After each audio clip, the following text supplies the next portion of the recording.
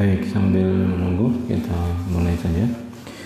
Bismillahirrahmanirrahim. Assalamualaikum warahmatullahi wabarakatuh. Alhamdulillahi rabbil alamin. Alladhi hadana li hadha wa ma kunna linahtadiya lawla an hadana Allah. Ashhadu an la ilaha illallah wahdahu la sharika lahu وأشهد أن محمدا عبده ورسوله. اللهم صل وسلم على رسولنا ونبينا محمد وعلى آله وأصحابه أجمعين ومن تبعهم بإحسان إلى يوم الدين. رضينا بالله ربا وبالإسلام دينا وبمحمد النبي ورسوله. ربنا زدنا علما ورزقنا فهما. اللهم إنا نسألك علما نافعا ورزقا طيبا وعملا متقبلا اللهم اشرح صدورنا بفيد الإيمان بك وجميل توكل عليك وأحينا بمعرفتك وأمتنا على الشهادة بسبيلك إنك نعم المولى ونعم النصير اللهم آمين Baik, jamaah subuh rahimakumullah. Alhamdulillah kita berjumpa lagi setelah pertemuan terakhir adalah di tahun lalu ya, tahun 2019 ya, kita sudah memasuki tahun baru miladiah. Menurut sejarah yang mereka buat ini artinya Nabi Isa alaihissalam itu lahir 2020 tahun yang lalu.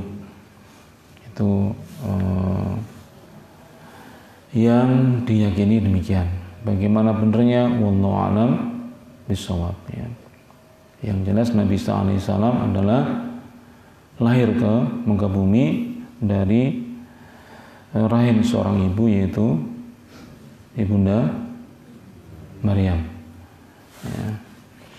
Baik, eh, kita pada pagi ini juga eh, sangat bersyukur karena biasanya nyetelnya lama gitu. Ini langsung langsung tampil ya. Mungkin tadi banyak yang bersotakoh subuh jadi makanya apa lancar ya. Baik, pada kesempatan kali ini kita akan lanjutkan kajian kita eh, kitab Al-Jawabul Kafi yang ditulis oleh uh, Syekh Ibnu Qayyim Al-Jauziyah. Uh, beliau ini hidupnya semasa dengan Tunggul Ametung ya, dengan Ken Arok, dengan Ken Dedes, berarti dengan Ambu Gandring juga ya. Sekitar tahun 1200-an lebih ya. Nah, beliau ini memiliki apa kemampuan atau ilmu yang di atas umumnya ya karena beliau ini untuk menjelaskan sebuah pertanyaan ya hanya satu pertanyaan saja itu menjadi sebuah buku mungkin beda dengan sekarang ini pertanyaan banyak cuman dijawab satu halaman kalau beliau satu pertanyaan dijawab dengan sebuah buku. Ya bukunya apa? Ya ini bukunya. Ini adalah buku yang ditulis karena ada salah seorang yang bertanya. Ya.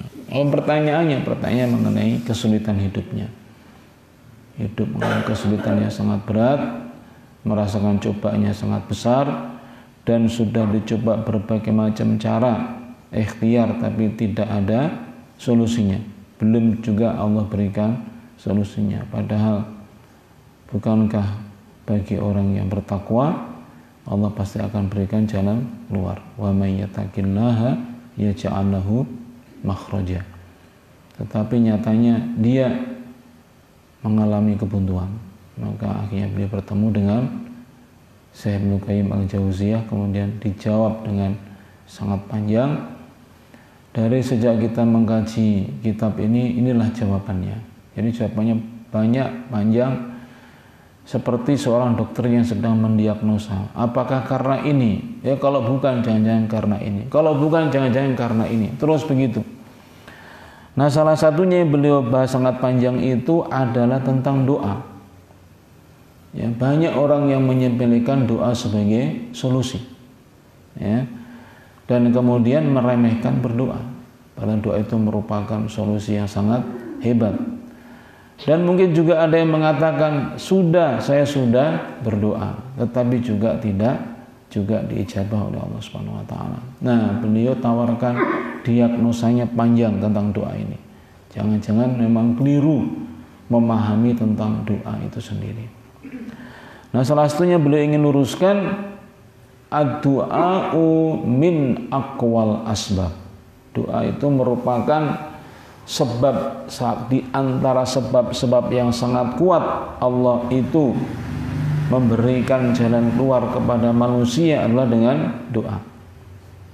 Jadi doa itu tidak lebih rendah kedudukannya daripada ikhtiar dengan amal, dengan ilmu, dengan apa kerja kita, fisik kita, jasmani kita, dengan kita dilatih, dengan kita ikut pendidikan, sekolah dan sebagainya, mengasah pengalaman untuk supaya rezeki lancar. Misalnya begitu. Doa itu itu jangan diremehkan. Gitu maksudnya. Bahkan beliau sampai berani menyimpulkan ad-du'a'u min aqwal asbab. Doa itu justru merupakan sebab yang sangat kuat. Allah itu memberikan solusinya kepada kita semuanya.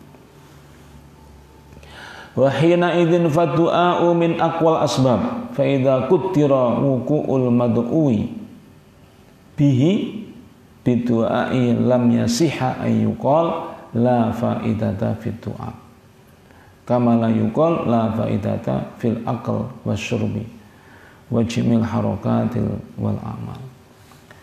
Jadi dengan uh, penjelasan atau dengan memahami bahwa doa itu sekuat-kuatnya sebab maka menjadi tidak benar kalau ada yang mengatakan la faidata fit Tidak ada faedahnya orang berdoa kalau Allah sudah takdirkan eh, apa itu terjadi, maka tanpa doa juga pasti akan terjadi.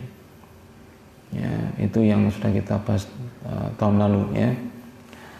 Sebagaimana ya keanehan dari pernyataan itu adalah sebagaimana kalau ada orang mengatakan la faedah fil akli wa syurbi nggak ada faedahnya makan dan minum kalau Allah takdirkan pagi ini saya itu kenyang dan tidak haus, maka meskipun tidak makan tidak minum akan kenyang dan akan tidak haus. Ini apa setara ya orang yang mengatakan doa itu nggak ada faedahnya itu setara dengan orang yang mengatakan nggak perlu makan dan minum kalau kita ingin kenyang dan tidak kehausan.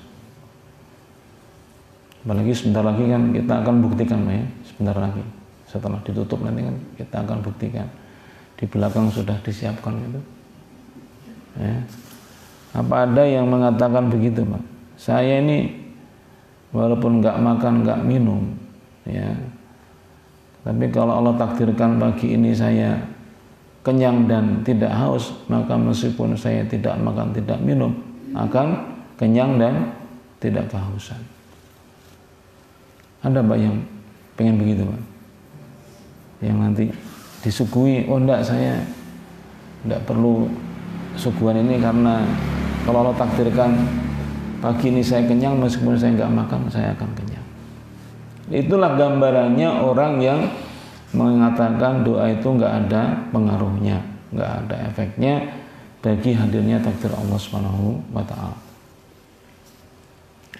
Termasuk kemudian berarti orang seperti itu secara tidak langsung dia seperti mengatakan tidak ada gunanya semua aktivitas dan amal kita itu walaisa syai'un min asbab anfa min du'a wala ablagha fi husnul matlub. Nah, nah dari sekian banyak ikhtiar manusia, usaha manusia makan, minum, bergerak, berbuat ikhtiar dan sebagainya, maka yang paling kuat, yang paling besar manfaatnya adalah doa.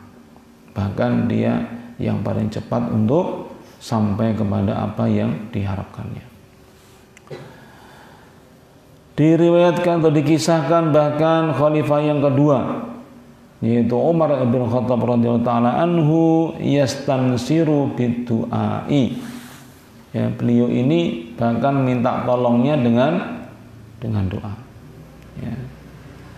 Walamma kana sahabatu radhiyallahu taala anhum a'lamal ummah billah wa rasulih sallallahu alaihi wasallam wa afqahum wa afqahahum fi dinihi kanu aqwama bihada sabab basyurutihi wa adabihi min ghairihim.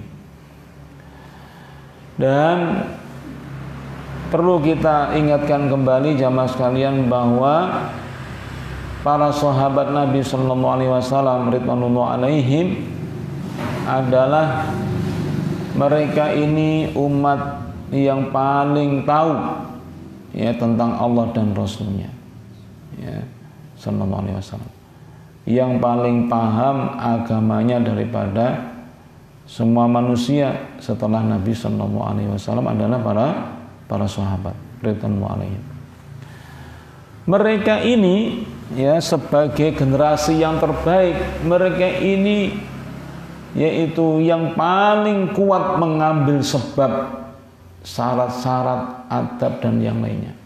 Mereka tidak diam, tidak berpangku tangan. Mereka berdarah-darah, mereka kelaparan, kehausan, kecapean, luka dan sebagainya. Bahkan ada yang menemui syahidnya. Karena apa? Mereka sangat meyakini bahwa namanya karunia Allah Subhanahu wa taala ya, ijabahnya Allah Subhanahu wa taala itu harus diperjuangkan dengan sekeras-kerasnya. Harus mengambil sebab yang sangat kuat. Wa kana Umar radhiyallahu taala anhu yastansiru bihi ala aduwihi. Dan adalah khalifah yang kedua yaitu Umar bin Khattab radhiyallahu taala anhu dia ini meminta tolong ketika menghadapi musuh-musuhnya. Wa kana azama jundaihi wa kana yaqulu li ashabi lastum tunsaruna bi kasratin wa innama tunsaruna minas sama. Wa kana yaqul inni la ahmilu hammal ijabah.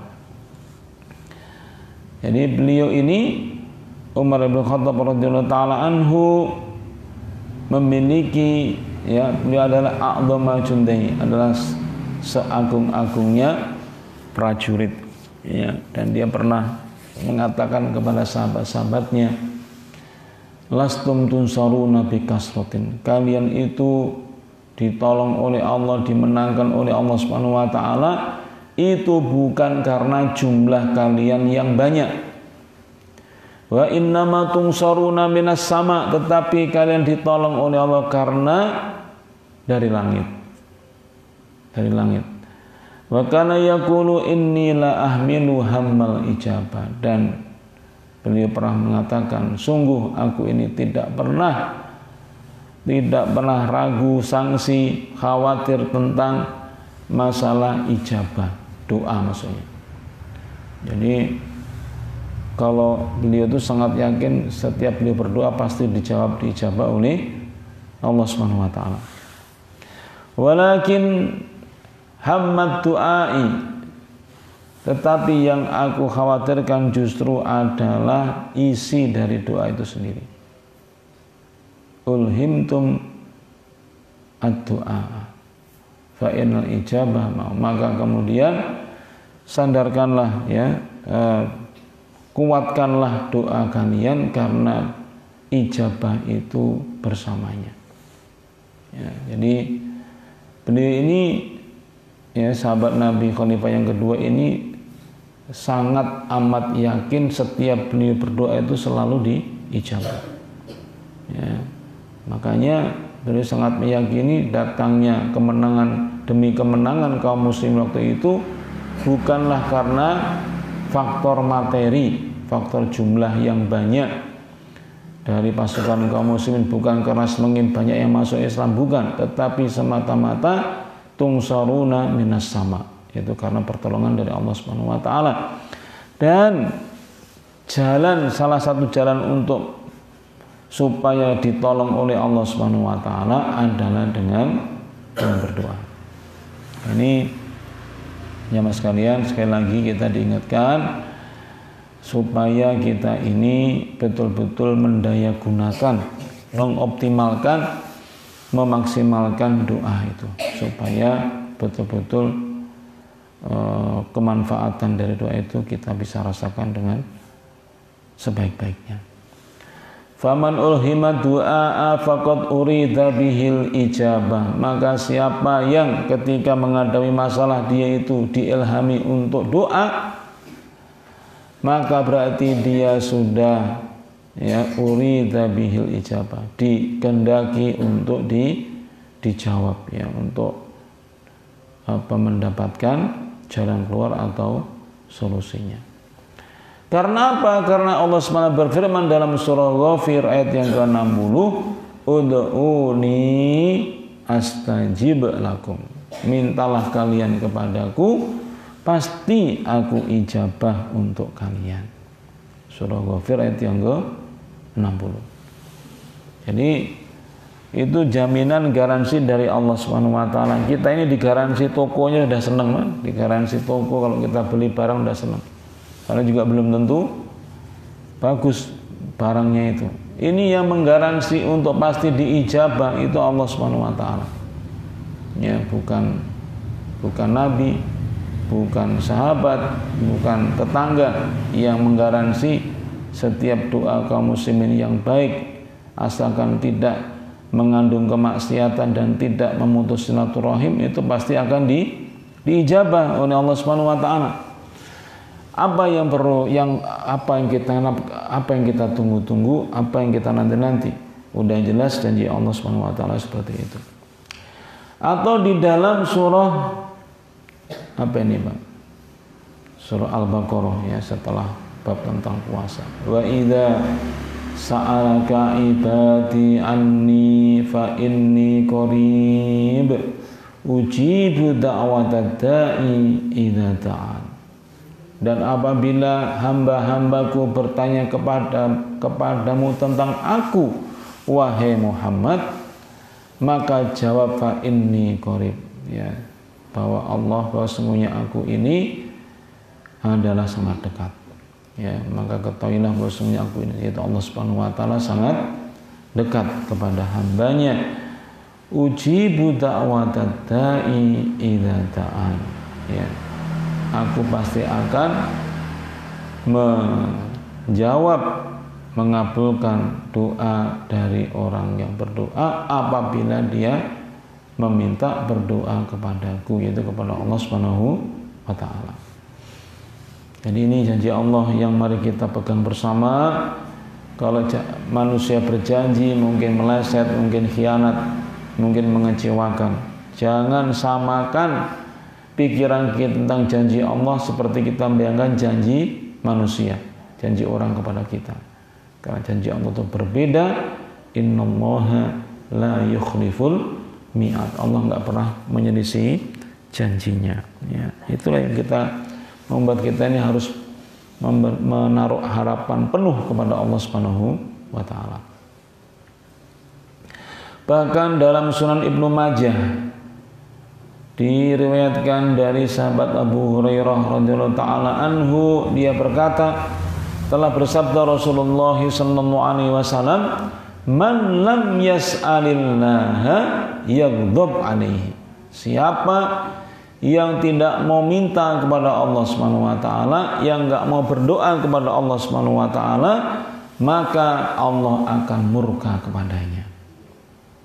Jadi malah malah terbalik ya kebalikannya. Manusia manusia itu kalau banyak dimintain semakin banyak dimintain semakin risih semakin nggak suka. Itu namanya kodratnya manusia begitu. Nggak suka direpotin sama orang lain tetapi kalau Allah Subhanahu wa taala justru akan marah akan murka kalau manusia itu tidak meminta kepada Allah Subhanahu wa taala jadi mari kita minta sebanyak-banyaknya ya sebaik-baiknya ya semaksimal apa yang kita harapkan suatu kebaikan apa yang kita harapkan mari kita minta panjatkan kepada Allah Subhanahu wa taala. Wa hadha yadullu ala anna ridaahu fi su'alihi wa ta'atihi. Hadis ini menunjukkan ya Mas sekalian bahwa sesungguhnya ridhonya Allah Subhanahu wa taala itu pada doa dan ketaatan kita kepada Allah Subhanahu wa taala. Jadi kita berdoa itu bagian dari yang di yang membuat ridhonya Allah Subhanahu wa taala. Wa idza radiya rabbu tabaraka wa ta'ala fa kullu khairin fi ridahu. Dan kalau Allah Subhanahu wa taala sudah ridho kepada manusia kepada kita yang berdoa itu, maka segala sesuatu, segala kebaikan itu akan terlimpah kepadanya. Jadi ini e, runutannya begitu. Kenapa kita ini perlu bersungguh-sungguh dalam berdoa karena doa itu mendatangkan ridho Allah SWT. Kalau Allah sudah ridho, maka fakullu khairin fi ridho. Maka segalanya itu bernilai kebaikan karena Allah telah meridhoinya. Kama anna kulla bala'in wa musibatin fi ghadabihi. Sebagaimana yang namanya musibah itu itu ada dalam kemurkaan Allah Subhanahu wa taala. Itu yang kemarin. Beberapa hari atau mungkin sekarang masih saya belum monitor lagi di berita. Banjir di ibu kota masih Pak hari ini. Saya belum belum monitor lagi. Itu banjir yang terparah sejak tahun 2000 eh tahun berapa? 2002 atau tahun berapa itu? Sudah 16 tahun ya itu dikenal sebagai banjir yang paling parah di ibu kota dan sekitarnya termasuk Banten dan Jawa Barat. Nah ini biasanya muncul saling membela diri saling saling menuduh ya. Kenapa? Itu, itu adab dari Allah Subhanahu wa taala. Satunya mengatakan itu enggak benar masa? Banyak orang yang soleh kok dibilang itu adab itu bagaimana nah caranya gimana undukannya Pak dari mana kita tahu itu adab adab dari Allah Subhanahu dan mana kita tahu kalau itu adalah bukan adab ya ujian atau bahkan bukti cinta Allah kepada hambanya. Gimana dudukannya Pak? Kalau karena musibah ini ya seperti bencana alam itu Indonesia kan memang termasuk yang sering mau gempa bumi, banjir itu kan langganan gunung meletus gitu kan. Nah, kita perlu mendudukkannya dengan tepat. Yang pertama kita harus menyadari dulu bahwa segala musibah itu terjadinya, sebab terjadinya karena ulah tangannya manusia. Itu yang perlu kita pahami dulu. Zuhara fasadu fil barri wal bahri bima kasabat aidin nas. Jadi kerusakan di daratan di lautan itu muncul terjadi karena ulah tangan manusia. Ya. Uh, wa ma asabakum min musibatin fabima kasabat aydikum wa yafu an Juga ada ayat begitu. Apa pun musibah yang menimpa kamu itu sebabnya karena dirimu sendiri. Nah, jadi sebabnya itu adalah manusia yang membuat itu terjadi itu manusia. Nah, Anda yang mengatakan begini, loh kalau bagaimana kita itu nggak pernah misalnya kalau urusan banjir biasanya apa? Karena buang sampah sembarangan. Itu contohnya ya, buang sampah sembarangan. Pertanyaannya ada bilang gini, loh saya itu lo nggak pernah buang sampah sembarangan. Saya itu tertib. Saya orangnya bersih, rapi. Kenapa kok saya kena banjir? Padahal saya tidak ambil bagian di dalam apa buang sampah sembarangan dan sebagainya. Maka kita juga harus tahu kaidah di dalam hidup ini bahwa kalau ada perbuatan dolim ya misalnya tadi itu buang sampah sembarangan atau membuat gorong-gorong apa volumenya tidak mencukupi besarnya gorong-gorong dibandingkan dengan air yang tumpah atau mungkin karena gorong-gorongnya kemiringannya kurang sempurna ya kurang miring misalnya terlalu datar misalnya sehingga lajunya apa tidak bagus ya. Nah itu semuanya yang membuat ya melakukan mungkin satu dua orang atau satu dua kelompok saja. Tetapi memang Allah pun mempunyai kaidah kalau orang satu dua berbuat dolim itu sangat mungkin terjadi yang merasakan dampaknya akibatnya itu bukan hanya yang bersangkutan. Bukan hanya yang berbuat. Tetapi yang nggak ngerti apa-apa itu juga akan terkena dampaknya. Itu dalam surah Al-Anfal. Wattaqu minkum dan takutlah kamu kepada satu kedoliman ya, kepada fitnah yang tidak hanya menimpa kepada orang-orang yang dolim saja. Memang begitu hidup ini. Tujuannya apa? Supaya kita ini peduli. Jangan hanya yang penting saya ini sudah tidak buang sampah sembarangan. Jangan cuma begitu. Kalau kita melihat ada orang buang sampah sembarangan juga kita harus mengingatkannya. Karena apa? Nanti kalau ada apa-apa yang kena bukan cuma dia sendiri. Gitu. Ya sama. Banjir di Jakarta. Itu itu udah pasti sebab salah satu sebabnya karena ulah tangan manusia. Tidak sekonyong-konyong gitu. Ya, tidak tidak istilahnya udah waktunya banjir ya banjir tapi memang itu ada hubungan dengan perbuatan manusia. Nah, baru yang kedua kita tanyakan. Terus itu berarti apa? Apakah azab? Apakah peringatan dari Allah? Apakah itu justru merupakan bukti cinta kebaikan Allah kepada kepada manusia? Nah, cara mendudukannya gimana? Tinggal melihat kita pada waktu kejadian itu sedang bagaimana keadaan kita. Misalnya, kalau kita, maksudnya yang kita yang kena dampak bencana itu, misalnya banjir, kita kena dampaknya, misalnya rumah roboh, misalnya mobilnya tenggelam atau kentir ke mana. Nah, tinggal pertanyaannya itu ketika itu saat-saat kejadian itu kita ini posisi imannya di mana? Itu saja.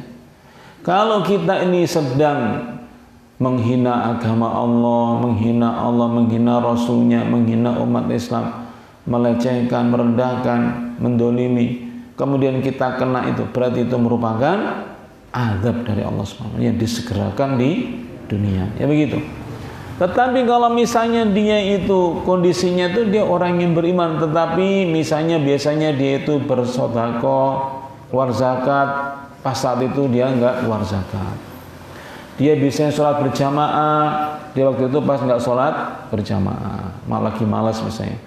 Dia biasanya puasa Ramadan dia nggak puasa Ramadan. Nah misalnya begitu nah kemudian tiba-tiba dia datang musibah itu bencana dia pas kena dampaknya padahal dia itu tidak termasuk yang menjadi penyebabnya maka itu berarti merupakan peringatan dari Allah supaya kita segera tobat kembali ke jalan yang Allah ridhoi. Nah begitu. Itu peluang yang kedua. Peluang yang ketiga gimana? Kalau misalnya pas saat kejadian itu kita pas sedang baik-baiknya, sedang taat kepada Allah SWT, sedang sholat berjamaah, sedang puasa, sedang ngaji, ya sedang banyak-banyak bersodakoh, berderma, Justru kalau itu terjadi berarti kita ini sedang justru dicintai, disayangi oleh Allah Subhanahu wa dengan cara apa? Karena Allah itu kalau mengendaki kebaikan kepada seseorang ya eh, man yuridillahu bi khairan ibtalahu. Ya, jadi kalau Allah mengendaki kebaikan maka Allah uji dia itu. Atau dalam hati yang lainnya kalau Allah ini kebaikan yusuf minhu maka Allah timpakan musibah kepadanya. Itu maksudnya untuk orang yang sehari-harinya itu orang yang yang baik, orang yang taat kepada Allah Subhanahu wa taala. Ngoten Bu nggih?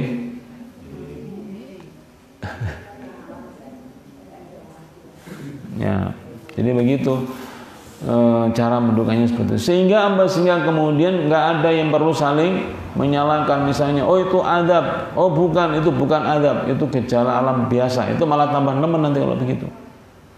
Karena itu sebenarnya ada dua hal yang perlu didudukkan. Pertama sebabnya, sebab datangnya musibah. Yang kedua baru kemudian uh, kita ini posisinya sedang apa? Diadab, apakah dicintai oleh Allah, disayangi oleh Allah, atau itu merupakan peringatan. Itu semuanya hubungannya dengan keadaan kita saat itu. Maka sebaik-baik seorang muslim adalah me menjalankan nasihat Nabi Shallallahu Alaihi Wasallam ittaqillaha hayyusuma kunta ya bertakwalah kamu kepada Allah dalam keadaan bagaimanapun di mana pun kalian berada dalam kondisi bagaimanapun tetap berusaha taat takwa kepada Allah supaya kalau ada apa-apa terjadi meskipun kita tidak yang menjadi sebabnya nah kita termasuk yang kategori yang ketiga yaitu itu Allah sedang mengendaki kebaikan dan mencintai kita semuanya. Ya, saya kira demikian. Ya, Ibu sekalian yang bisa saya sampaikan. Ada yang mau ditanyakan, saya persilahkan. Monggo.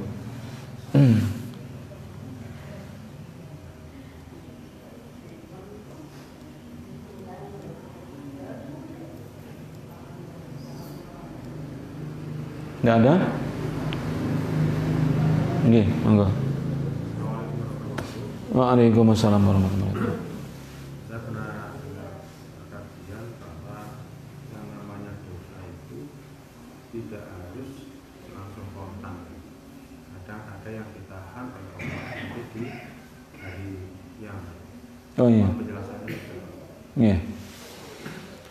Baik, eh, apa hubungannya dengan firman Allah Subhanahu wa taala uh, ud'uni astajib lakum mintalah kepadaku pasti kamu diijabah.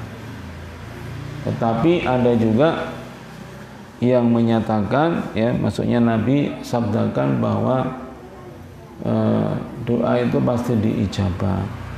Tetapi diijabahnya doa kita itu memang memiliki tiga kemungkinan bentuk ijabah. Bentuk ijabah itu ada tiga jenis, ya tiga jenis. Yang pertama imma yu'ajjiluhu fid dunya. Yaitu pilihan yang pertama dan ini yang paling disenangi oleh manusia yaitu apa? Dikabulkan ketika masih hidup di dunia entah hari ini, entah minggu depan, entah bulan depan, entah tahun depan, entah kapan. Yang penting ketika masih hidup di dunia dia merasakan doanya diijabah. Itu adalah pilihan yang pertama. Nah, itu pilihan yang paling disukai kita kan itu. Pilihan yang kedua wa imma yutakhiruhu fil akhirah yaitu menjadi tabungan simpanan di akhirat. Jadi doa kita itu apa pun isinya itu pasti diijabah. Nggak mungkin nggak diijabah karena itu bagian dari kemurahan Allah SWT kepada hambanya. Bayangkan kepada orang kafir saja, kepada orang yang maksiat saja, Allah kasih udara, makan, minum, kesehatan itu kan. Maka mustahil kalau Allah, kalau orang yang beriman itu berdoa itu nggak dijabah itu mustahil, itu pasti diijabah. Makanya Nabi katakan begitu. Orang yang berdoa itu pasti diijabah dengan tiga kemungkinan. Jadi tadi itu merupakan sabda Nabi Shallallahu Alaihi Wasallam. Meredaksinya saya tidak apa persisnya. Nah yang ketiga, kalau yang pertama tidak, misalnya diijabah dunia juga tidak, kemudian ditabung juga tidak. Terus apa yang kemudian yang ketiga? Kemudian yang ketiga adalah kita itu terselamatkan dari musibah, bencana apa pun bentuknya yang berupa keburukan yang nilainya itu setara dengan doa yang kita panjatkan. Misalnya salah satu doanya orang yang hidup kesulitan secara ekonomi, misalnya dia ingin dia selama ini ke sana kemari jalan kaki ya maka dia pengen supaya punya kendaraan punya sepeda motor. Nilainya sekarang berapa Pak misalnya 20 juta. Ternyata sampai sampai mati dia tuh nggak pernah bisa beli sepeda motor. Apakah itu berarti tidak dijabah dijabah tetap diijabah. Ijabahnya apa? Mungkin menjadi tabungan di akhirat. Yang ke satunya, satunya lagi, mungkin dia itu pernah hampir-hampir ditimpa musibah, misalnya kecelakaan. Sampai menghabiskan operasi sampai 20 juta. Tetapi itu Allah selamatkan, dia tidak kecelakaan. Begitu maksudnya. Yang ketiga, maka karena itulah tidak ada satupun doa itu yang nggak akan dijawab oleh Allah Subhanahu Wa Taala kecuali kalau doanya itu mengandung dua hal yang pertama isinya itu dosa. Ya misalnya ya Allah apa mudahkanlah saya karena malam ini saya mau mencuri. Eh, supaya lancar supaya nggak konangan ya, gitu ya. itu namanya doa isinya dosa. Satunya lagi doa untuk memutus silaturahim. Ya Allah saya minta kepadamu supaya saya jangan lagi bertemu sama si fulan sama si karena itu orang itu sangat saya benci ya. Dan saya tidak mau bertemu lagi dengan dia. Ya. Itu namanya doa untuk memutus silaturahim itu nggak boleh ya. Nah selama tidak mengandung dua itu maka semua doa-doa kita itu diijabah oleh Allah SWT tidak ada yang diijabah. Makanya rugi sekali kalau manusia itu nggak mau berdoa. Karena itu pasti dikabulkan. Jadi berdoa apa pun isinya yang penting isinya baik ya. Isinya apa kebaikan ya kemuliaan ketaatan gitu. Itu Allah pasti ijabai nah yang menjadi manusia itu kenapa meninggalkan doa dan sampai berprasangka buruk kepada Allah? Karena dikira namanya ijabah itu cuma satu jenis yaitu apa? Hanya yang bisa langsung dirasakan oleh yang bersangkutan di dunia. Persis seperti apa yang diminta. Itu yang membuat orang itu stres nanti akhirnya. Kok saya doa kok nggak dikabul-kabulkan ya? Itu bagaimana ini? Padahal saya itu sudah berusaha sekusuk mungkin apa gitu. Nah itu karena mengira doa itu selalu maknanya adalah dikabulkan di dunia. Nah makanya Bapak Ibu sekalian saya itu sangat mengulang-ulang bab ini. Jangan kita ini remehkan doa jangan malas berdoa dan jangan tanggung-tanggung kalau berdoa gitu maksudnya. Ya. Kalau isinya kebaikan itu ya misalnya jenengan itu tolonglah apa yang jamaah di sini yang paling bisa merasakan itu berdoa ya Allah. Semoga apa semua jamaah di sini itu semuanya masuk surga. Semuanya hidup bahagia di dunia di akhirat. Ya gitu karena itu apa? Kan kebaikan. Kalau kebaikan itu itu masih dijawab oleh Allah Subhanahu wa taala. Gitu, gitu Mas ya. Jadi eh, jangan kita apa eh, segan-segan lagi untuk berdoa karena semua doa kita pasti akan dijawab oleh Allah Subhanahu wa taala. Ada lagi? Nggih, monggo. Bagaimana bentuk doa yang benar? Misalnya gimana maksudnya? Kata-katanya itu kadang-kadang ada yang salah. Gimana yang benar itu? Maksudnya isinya apa tata caranya apa gimana? Isinya. Isinya. Jadi itu mungkin nanti hubungannya dengan adab ya, adab berdoa mungkin ya, adab-adab berdoa. Ya banyak nanti yang perlu kita siapkan. Ya selama ini sudah kita cicil sebagiannya. Misalnya e, ngambillah waktu-waktu yang mustajab. Ada enam waktu mustajab untuk berdoa. Salah satunya yaitu di sepertiga malam yang terakhir menjelang subuh dari segi waktu dulu misalnya yang kedua antara adzan dan iqomah misalnya yang kedua misalnya ketika yang ketiga ketika adzan itu sendiri di sela-sela muadzin adzan itu doanya kita diijabah. Yang ke berapa? Keempat yaitu ketika khotib sedang berkhutbah. Ini penjelasannya panjang, pembahasannya panjang tetapi intinya yang paling tepat itu adalah maksudnya ketika khotib itu duduk di antara dua khutbah karena kalau pas khutbah nanti khawatir kena larangannya harusnya mendengarkan khutbah. Padahal Nabi sudah sebutkan apa ketika khotib naik mimbar itu itu doa kita diijabah tapi jangan khotib naik di atas mimbar Pak ya. Khotib naik mimbar. Kalau naik di atas mimbar nanti mengkrik-mengkrik di atas mimbar. Jadi maksudnya adalah saat prosesi khutbah gitu. Makanya khotib yang mengerti fadilah ini dia pasti agak lama duduknya duduk di antara khutbah dia pasti akan agak lama kalau mengerti bab ini. Karena dia memberi kesempatan kepada jamaah untuk berdoa. Karena itu doa yang diijabah. Ya. tapi kalau nggak ngerti nanti duduk langsung berdiri. Ini hanya untuk gugurkan rukun. Nah ini korbannya sama jamaah. Baru mau berdoa sudah harus mendengarkan lagi. Ini nggak jadi berdoa. Nah, gitu. Dan yang ke enam. Apa bayar lupa saya? Gimana misalnya begini pak. Semoga Allah mau mau kata mau Oh maksudnya uh, redaksinya dalam redaksinya? Ya redaksinya uh, dalam berdoa ya kalau semoga Allah mau itu ya kita belum pernah dengar uh, apa namanya uh, contoh Nabi untuk berdoa bukan begitu. Ya langsung. Ya langsung. Nabi Ibrahim alaihissalam itu Nabi yang dikenal doa-doanya hampir 100% itu diijabah di dunia. Ya di dunia.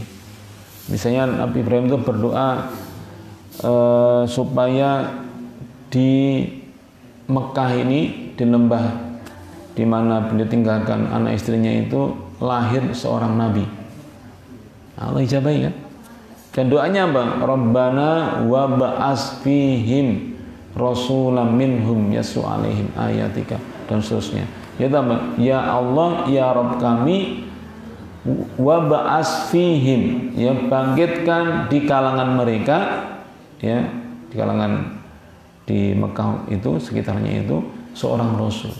Gitu langsung jadi ya Rob kami bangkitkanlah di kalangan. Jadi bukan ya Allah jika engkau mau maka bangkitkan seorang nabi bukan jadi langsung ya misalnya Rabbana ghafir wa israfana fi amrina wa sabit aqdamana wa ansurna ala Ya Allah, ampunilah kami dosa-dosa kami.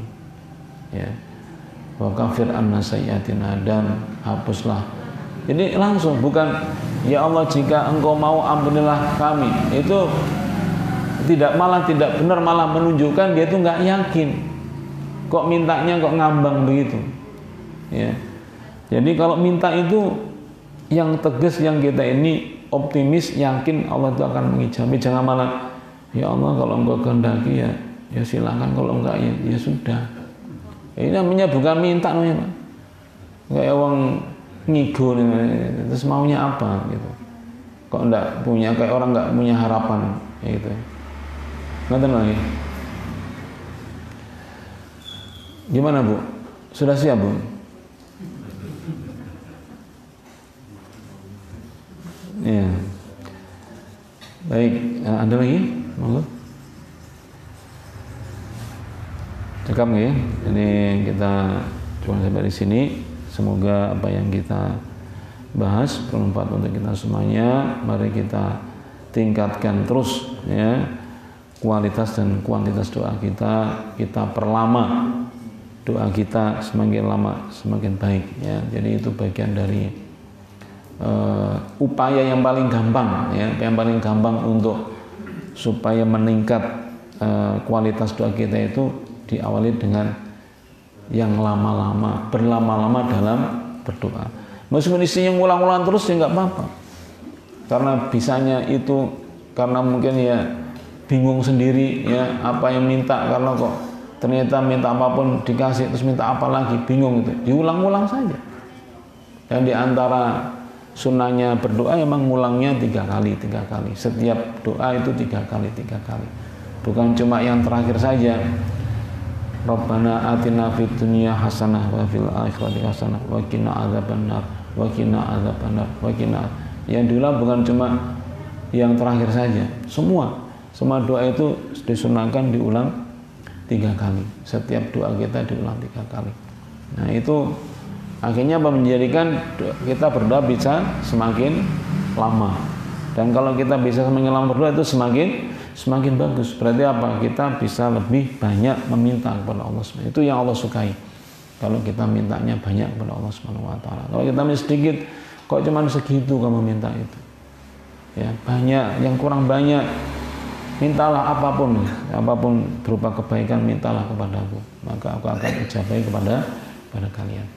Baik kita akhiri dengan doa kafarah majlis. Subhanakallahumma bihamdika أشهد أن لا إله إلا أنت أستغفرك وأتوب إليك نصر من الله وفتح قريب بشر المؤمنين والسلام عليكم ورحمة الله وبركاته